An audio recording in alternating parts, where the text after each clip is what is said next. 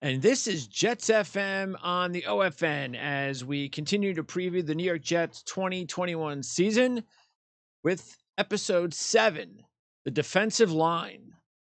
Jeff Ulbrich will be coaching the defense for Coach Saleh. And Ulbrich comes over from Atlanta, where he was linebacker coach for the past six seasons. Defensive line coach is Aaron Whitecotton, a nine year NFL assistant. And Whitecotton one of his jobs will be to coach up the very talented Quinnen Williams. And naturally, if we're going to talk about the Jets defensive line, that's where we begin. Williams, the third overall pick in 2019, showed marked improvement in season two with 55 tackles, 14 quarterback hits, 10 tackles for loss, and 7 sacks over just 13 games. The fun loving Williams has immense talent that is just scratching the surface. And the decision by the new staff with the new scheme to play him at the three tech should unleash the very best of his abilities, including the type of interior penetration that should allow the Jets to apply constant interior pressure to complement an outside pass rush. The main issue with Williams has been health. He has played in 26 of a possible 32 games, and last season, uh, neck and concussion injuries uh, forced him to end his season after 13 games. Then he began OTAs this offseason, breaking his foot, uh, even though a word is that he should be ready early on during training camp.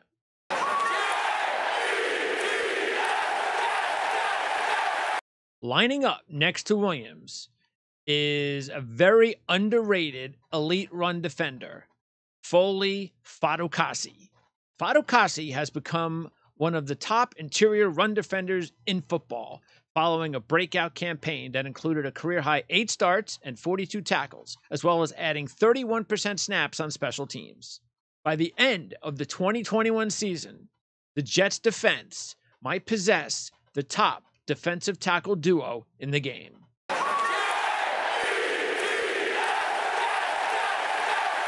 Joining Fats and Williams in the interior of the Jets defense is newcomer Sheldon Rankins. Just five years ago, Rankins was the 12th overall selection in the 2016 NFL Draft. His best year occurred in 2018 when he set career highs in tackles with 40, sacks with 8, and quarterback hits with 15. But injuries have really been the headline story for Rankins in his career at this point. He broke his fibula during training camp as a rookie and uh, missed the first seven games in 2016. After dominating the 2018 season, Rankins tore his Achilles during a January playoff game in 2019. Since then, Rankins went on to injure his ankle week 14 in 2019, missed the final three games of the regular season, including the playoff loss to Minnesota. Then, in 2020, he missed four games with an MCL sprain. Rankins talked in April about how he's feeling.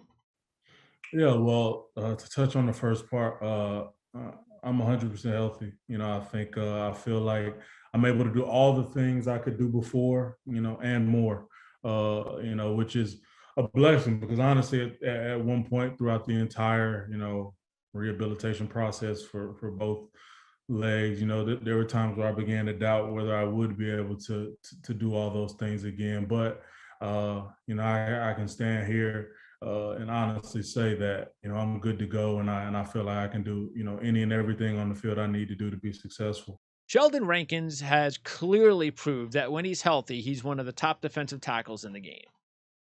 So now all the Jets staff and fans can collectively do is cross their fingers and hope that he remains healthy.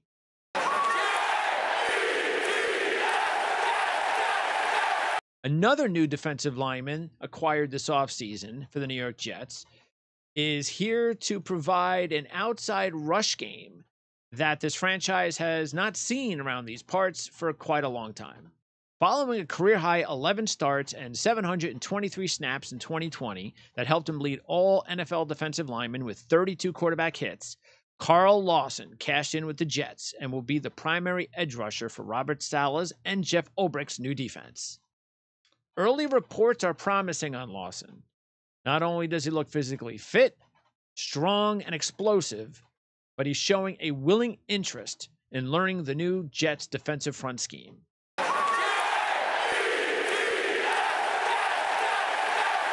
Next up is another young, talented player on the rise, John Franklin Myers. As Ourlads' draft guide profile put it, a physical gem who moves as well as most edge rushers in this class at a chiseled 283 pounds. He explodes off the snap, is an aggressive player who will pursue sideline to sideline, knows how to finish, and is a sure tackler. After being taken in the fourth round in 2018 with the Rams, Myers was active for all 16 regular season games and even had this strip sack in the Super Bowl. But Myers was surprisingly cut at training camp just before the 2019 season to a deep Rams rotation. The Jets took advantage and signed him shortly thereafter. Myers was placed on IR for all of the 2019 season, though, but returned in 2020, playing 15 games with 13 quarterback hits and three sacks on 500 snaps.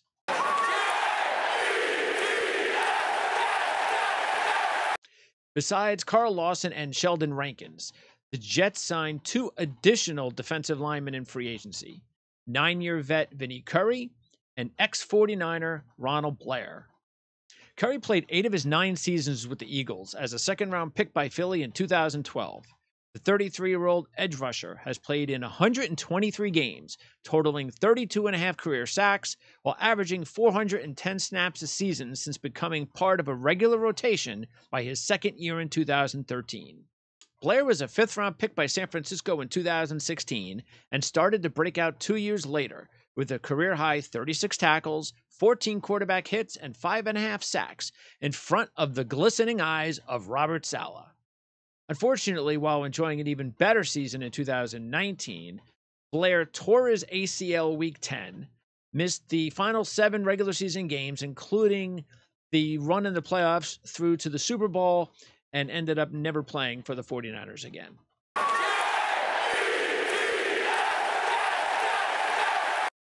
Two homegrown young defenders are looking for their full on breakout seasons in Kyle Phillips and Nathan Shepherd. Phillips was the Jets' prized college free agent signing of 2019. As a rookie, he led all defensive linemen with 49% snaps and did his best damage against the run. An ankle injury in week seven last season, though, forced him to miss the last nine games. Phillips will start training camp on the pup list as he continues his rehab from surgery. Shepherd is a former D2 defender, so his ascension as a pro has expectedly taken a bit longer. Shepherd has played in 39 games in three seasons with eight starts so far, while adding 27% snaps on specials last season. I think Ourlads' draft profile on Shepherd put it best. Outstanding bulk, good athletic ability with speed, change of direction, explosiveness, and balance. Overall, Shepherd may be lacking in fundamentals and mental processing, but has outstanding pro physical potential. Now it's up to Shepherd uh, to prove with these new coaches whether or not he just belongs or whether he has what it takes to be a difference maker.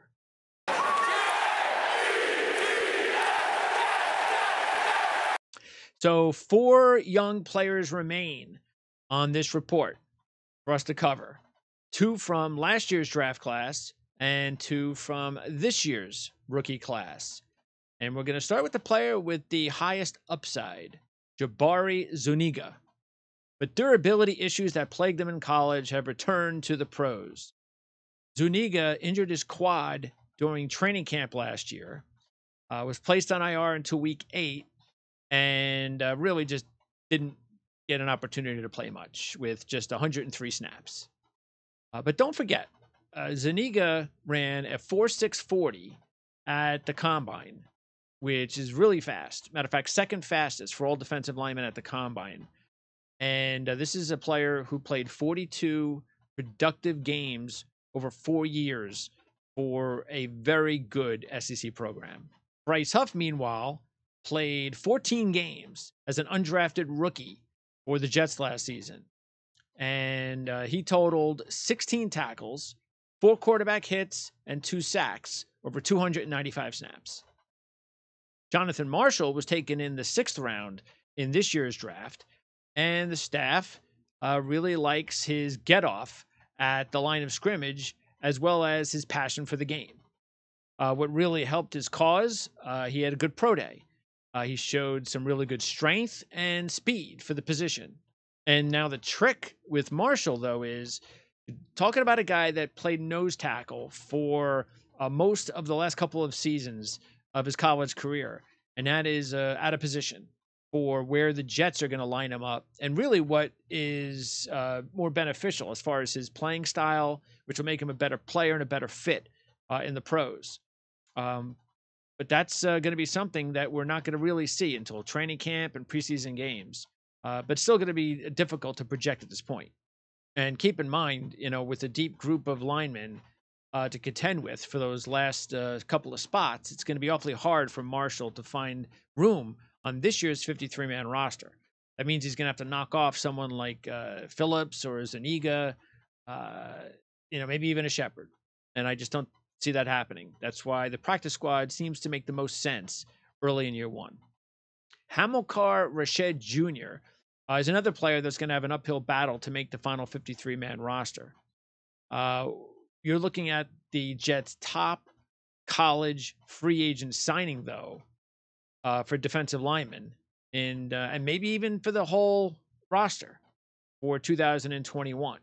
Uh, but the big mystery uh, with Rashed is going to be what Rashed Jr. are we going to get? Uh, we're going to get the one that produced 22 and a half tackles for loss, which led the nation in 2019. Uh, he also had 14 and a half sacks, which was a team record that year. Or are we going to get the player that had no sacks in 2020? And uh, for whatever the reason, uh, there's been talk about it being he gained too much weight. He wanted to get bigger and he lost his speed. Uh, whatever, whatever the case, you know, this professional coaching staff's going to get to him.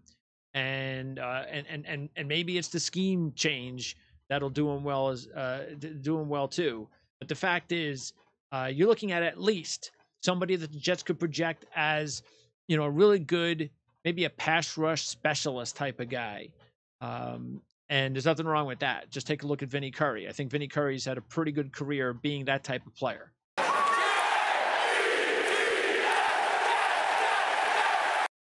All right, so that's it for the defensive line group for uh, the 2021 preview. Uh, here, episode seven. Uh, as the New York Jets, I hate to sound like a broken record, but the New York Jets uh, seem to have some pretty good depth and it's going to be fun covering the defensive line. I think, uh, like I said with the offensive line report, I think it's going to be really fun covering both units, the offensive line and the defensive line, especially with all the competition uh, that both units are going to be uh, going up against. So, should be a lot of fun. Now, I have as far as locks making the defensive line, I have uh, seven because again, uh, nine to ten is what we're going to see make the team. Uh, Quinnen Williams, Folorunso, uh, Rankins are definite locks uh, in the interior. Lawson, Myers, Curry, and Blair are locks on the edge. And yes, there's no way, I'm telling you right now, that Ronald Blair is not making this team if he's healthy. Saleh loves the kid. So that's seven. So that leaves two to three players. Okay. Now you have Shepherd uh, who uh, if and if I had to really make the prediction now, I would say Shepherd's going to make it. I think Zuniga's going to make it, and I say Huff's going to make it. But also, this goes to what we talked about uh, with the offensive line yesterday. Well, do you do you open up an extra roster spot for an offensive lineman, uh, or not? Because chances are the Jets aren't going to add that extra offensive lineman and that extra defensive lineman. So maybe that's why these battles are going to be very interesting how it could cancel itself out, one of these players. Um, but here's how I see it happening also is that Phillips would then maybe start the season on some kind of injury report. You know, maybe they could kind of just keep kicking that down the road somehow uh, because injuries are going to happen. Who knows? Maybe you just need more time to figure things out, you know, with these players, maybe get a couple regular season games to really find out what you got, that kind of deal. Um, so I that's going to be my prediction if there's going to be 10 players. Now, if there's going to be nine, then it really gets tough because again, with Zuniga, Huff, and Shepherd, maybe what you see is is Zuniga and Shepherd make it, and then Huff practice squad and and hope that he doesn't get picked up that that type of deal. Or of course, maybe there's an opportunity for them to kind of hold on to him in the practice squad. Uh, but if Phillips all of a sudden is healthy in the next week or two, as we're doing this show like in day two of training camp, wow, that's why I'm saying there's pretty good depth. Uh, as far as a potential trade, uh, but with uh, Nathan Shepherd being a third round draft pick, you might be able to pick up a fourth if you're lucky. Uh, but I would probably say a fifth or a sixth uh, to be more likely. So just like we talked about with the Doga as the one guy that I could see if you, if there was going to be a trade and be able to accomplish something with a draft pick, I thought Edoga would be the one guy the Jets could trade and get a halfway decent pick with. And I, I would say Shepherd would be the guy on uh, defense, on the defensive end, or defensive line for the Jets, if if that's where they're going to go. I'm sure they want to keep Shepherd because the kid uh, is just he's got a lot of talent. Anybody from Division Two needs some time then he had the PED suspension. You have a new staff in place. And if this staff falls in love with him, and I could see them falling in love with the Shepherd, or the exact opposite, they may go, ah, this guy's just not for us. So that's, you know, we don't know this. I'm just making a guess. I, I think he's very talented, uh, but who am I, right? So, uh, but uh, look, either way, it's going to be real interesting to find out how it all goes down as far as the remaining uh, depth spots on this team. Uh, this is why I've said for weeks, and really even when the Jets made the move, and I talked about this in the draft guide with Ourlads, I just think Marshall's going to end up. He's destined for the practice squad. I think Rashed is destined for the practice squad. Huff can make the team, uh, and I think Huff's another guy that this staff might really like. And I was really impressed with Huff in limited snaps last year as an undrafted rookie. So you never know what new staffs and new schemes are going to make out of these talented college football players, and that's what the Jets have. But uh, we'll find out. It'll be a lot of fun uh, to keep an eye on it, and and I, and I really do hope that we're not guessing on Zuniga, because maybe Zuniga's a guy that gets traded and not Shepherd. You know, for him being um, a pretty high draft pick as well. So maybe Zuniga's the guy maybe the staff comes in and goes, you know what? Yeah, this is just uh, this is not working out. And you know they're they're looking at the injuries and and maybe they're just not seeing enough progress and it's just too deep and they don't want to risk losing some of these other talented players and expose them because of uh, Zuniga and his ongoing injury uh, situation. So I hope he stays healthy. He's very talented. He's got really good upside. Uh, but uh, that's going to be the thing to keep an eye on during training camp and, and, and up until the regular season or cut day is does Jabari Zuniga stay healthy? He cannot miss time. If he misses time, he could be the one that goes. And uh, we'll follow it all the way through. So it should be interesting. Anyway, that's going to wrap it up for episode seven, the defensive uh, line. And it's a good defensive line, and it has the ability to be very good. Uh, when I talk about some of these other units, yeah, you know, we're kind of happy about the depth and we're kind of projecting players and we're kind of being a little optimistic because I think we can be at this point. Well, who isn't, right? But this defensive line, this is this is good. These guys are good. And if these guys stay healthy, and again, I'm talking not just about Zuniga, you know, I'm talking about Rankins. You know, if, if this, and of course, Quinnen Williams, I mean, he's got to play. If, but if this group can stay healthy, they can, without a doubt, be one of the best four man fronts in football. And there's no doubt in my mind about that, but got to stay healthy. And we'll see if uh, they can uh, accomplish that goal because uh, health is always uh, a determining factor with NFL teams because the, the the talent is just so competitive. All right, so episode eight coming up linebackers. The linebacking unit, not as important as the defensive line on this defense. And of course, the secondary is going to be crazy to go over. I believe the number is between five and six of how many players the Jets will probably keep at the linebacker position. So uh, we won't have 13 or 12 linebackers to go over, but we will go over the Jet linebacker core with our next episode, episode eight. We'll uh, follow up the defense with the secondary after that. Uh, and then we'll wrap up all of our previews with the special teams unit. So thanks for tuning in to the Jets FM on EOFN, a preview of the New York Jets 2021 season. We'll see you next time.